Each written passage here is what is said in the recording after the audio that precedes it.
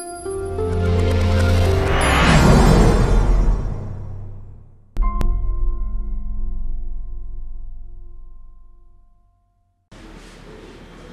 guys, I'm Bivin uh, from SEMA School of Engineering and Technology. I'm uh, I did a 10 days winter training program on Big Data and Hadoop.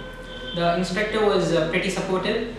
Uh, the course was really nice. It helped me a lot.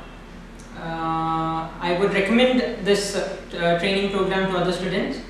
Uh, best of luck. Thank you.